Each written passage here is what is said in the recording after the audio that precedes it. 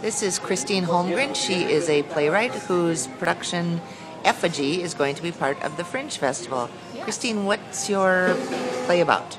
My play is about four men on a corporate retreat uh, with uh, two quarts of the best Kentucky bourbon there is and some very large cigars.